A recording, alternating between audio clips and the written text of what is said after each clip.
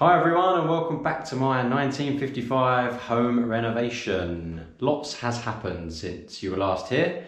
I've been working away one or two days a week um, around my other work for clients and I'm glad to say I'm probably 95% done with the rip out stage.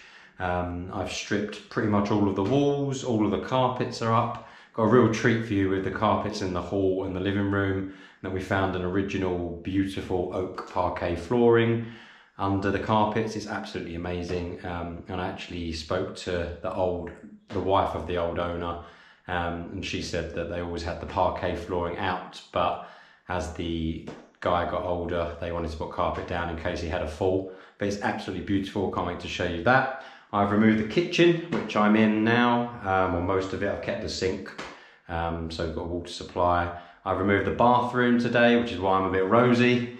Um, cast iron bath and very heavy fittings, so no more pink bathroom, unfortunately. And I've also done lots of miscellaneous things, and I'll take you around. Um, and I'll show you the garden as well, which is um, looking good as well. So I'll start in the kitchen. Um, oh, actually, and I forgot to say, um, I've submitted the plans. So I'll put the plans as I walk around. I'll try and split the plans into sections to show you what each room will turn into. Um, I'm really excited for that. So hopefully within 8 to 12 weeks we'll get an answer. Hopefully we get it first time and then we can crack on in maybe May or June depending on the builder's availability. My builders are ready to go. We've already sorted a quote. Um, so I just need to get the planning permission and we can crack on. So let's try again.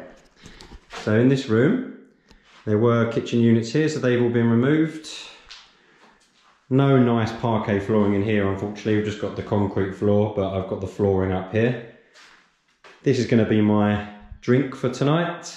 So I've removed the immersion and all the copper pipes, so should get around 50 to 60 pounds or maybe a tiny bit more for that. Quite proud of myself so far in that I actually haven't paid a single tradesman to do anything other than me. My plumber came on day one because I had that leak in the loft. Um, but other than that, I've done everything myself with the help of some family as well. So that's great that the costs are very low so far, apart from all the building costs and, um, well, planning application costs. So I've left this sink, removed all of this cupboard, and then stripped this wall and this wall. So my next job when the plans allow is to remove this boiler which obviously I'll get my plumber to do because there's gas going into that. And then this is part of the chimney stack here which I really want to remove but I've got to wait for planning permission. And what I'm really pleased about with today's work is I've removed the immersion which was in here all the pipe work coming down and then the cupboard that was here. And you can already see how much wider this hallway is and when the entrance is so much nicer. And when I get rid of this chimney breast here it's going to really open it up because eventually there'll be a door here going through. And what is the kitchen now will be storage storage cupboard here a hallway to the extension through that window a downstairs loo and then all of this out the back pretty much to the end of this patio will be the kitchen extension.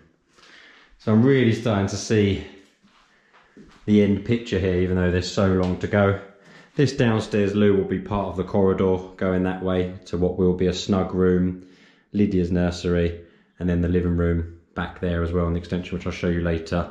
And then as I've said before, these stairs are getting flipped because they just encroach on the door.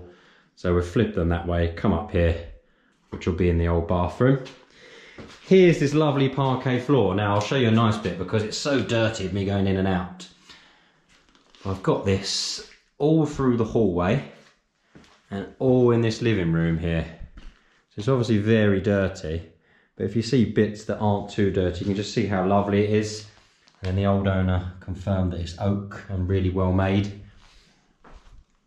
So I'm going to try and use that where I can, and if we're not using anything, I'm definitely going to look into selling it because I'll put it on Instagram and quite a few people are interested in already. But this room is basically being split with a wall down here, and this is going to be our office. So I'm thinking it can definitely be in this room as a minimum.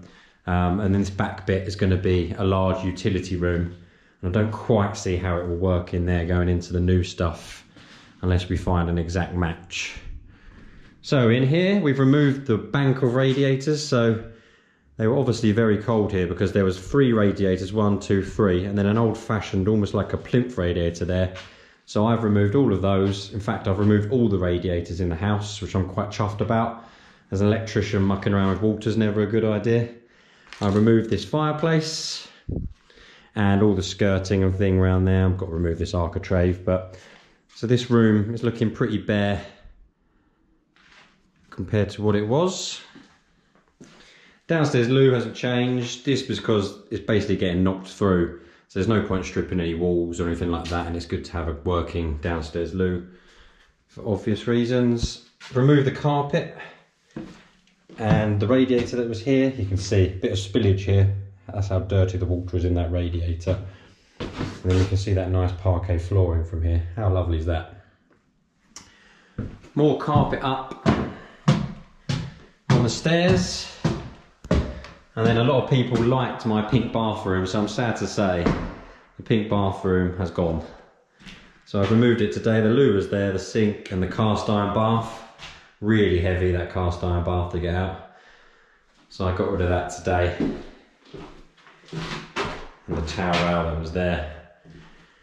And then this space is so funny what this room's going to become because the stairs are basically going to come up here and then the other part of the bathroom is just going to be a corridor going towards two new bedrooms with en suites, which will be our bedroom in that corner and our daughter's bedroom in that corner.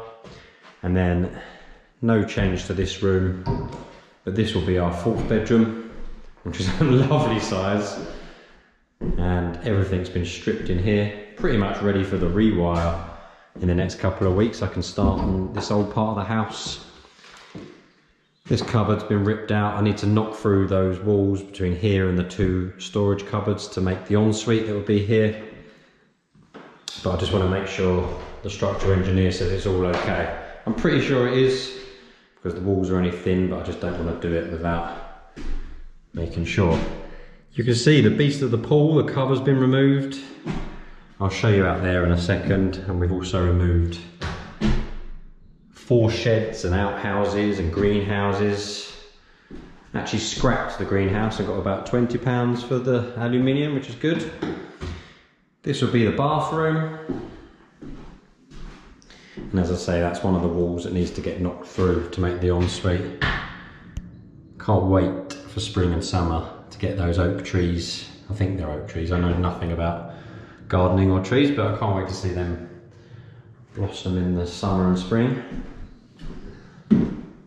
I'll show you what I did in the loft just for anyone who's doing these home renovations themselves because I am definitely an amateur plumber whilst I know what I'm doing with electrics I've been learning as I go over the years with plumbing so this is the feed to the water tank. So what I did was drain the water tank um, using a pipe downstairs. There was a valve that I opened drain the obviously turn the water off at the stopcock drain the tank and then put this push fit connector on here.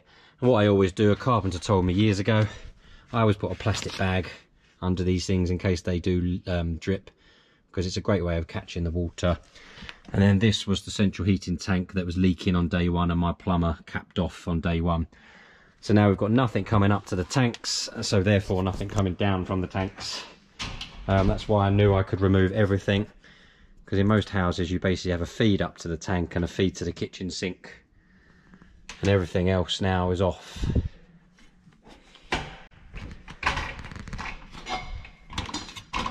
So I'm quite chuffed with myself doing the plumbing.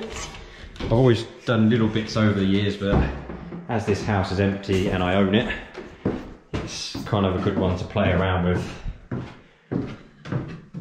Some more stripped walls everywhere. Oh, I so love that cupboard being out there. I'm really chuffed with that. Can't wait to get rid of that chimney stack. The front, nothing's really changed, but I'll just keep, I'll just show you quickly. It's nice and tidy out here actually. Lovely day. So nothing's changed. That's where the we've gone to apply for extension over there.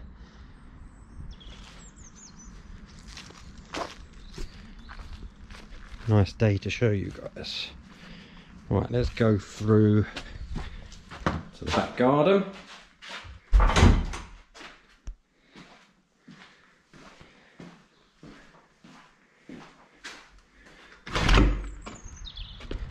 So this is my hose I've been draining the immersion tank with. This is my space at the side where the extension will hopefully be. And we'll probably be rendering like the house next door.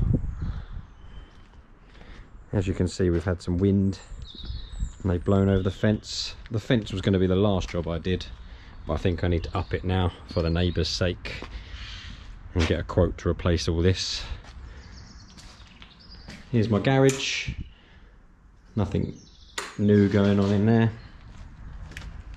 And then I'll show you guys the pool. So the back extension is pretty much going to be from where I'm standing here, going all the way across to that side bit back there. So all nice and open plan at the back, hopefully.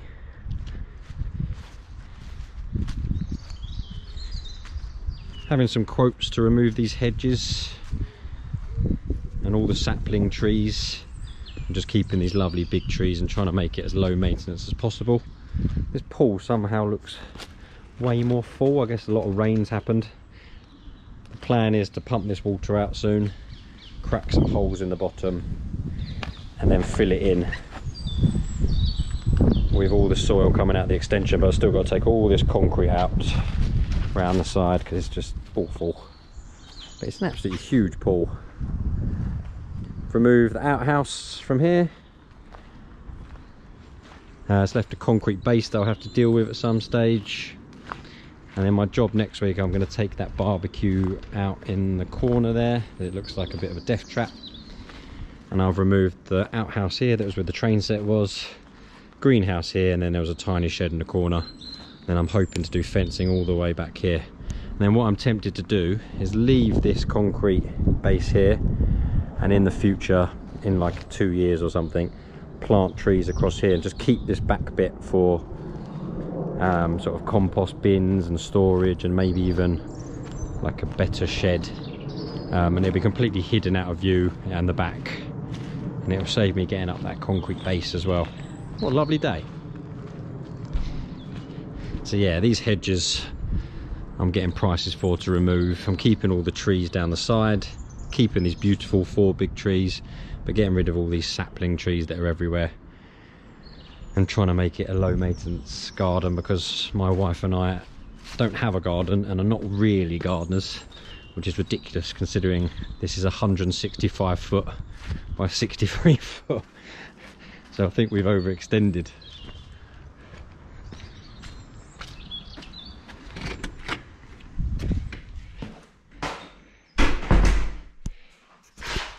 So yeah, that's it for this week. Um, the future plans are basically finish off the tiny bits that are left. Um, hopefully we hear from the planners. I'd love to get this chimney stack out. That'd be such a big job. And the skip's not even half full as well, so that will soon fill that up. Um, but I think I'm gonna have to wait a couple months for that. But I think immediately I need to start the rewire. I can actually rewire what will be the utility, what will be the study, um, and what will be bedroom three and four. Can definitely get quite a lot in there, as well as the downstairs hall and the landing. It's obviously just stuff where I am now and then the extensions that I can't really plan for yet. And I need to be a bit careful because the stairs are flipping about getting my cables back there as well. But there's probably a good week's worth of just the rewire I can crack on with. So I think that's going to be my next task. Um, and then I'll try and get my plumber in soon for him to start running pipes to those rooms as well for radiators and things like that. So we're progressing well. There's going to be a bit of a lull. We're waiting for planning, which I'm such an impatient person. It's always really annoying, but um, we'll get there in the end. Thanks to everyone for watching and thanks to everyone who's been on my website, renovationlinks.com. Um, it's a DIY comparison website me and my friend have started. Um, we're trying to update it so it's a lot more slicker um, in the next couple of months and I think in like you know six months time it's going to be really good but thanks to everyone who's signed up for the email subscription um, we've been sending we're going to try and send offers out um, good deals like two for ones on paints and things like that and tell you where the best place to buy is for the cheapest more importantly Thanks for watching and subscribing and I'll see you on the next one. Have a good weekend.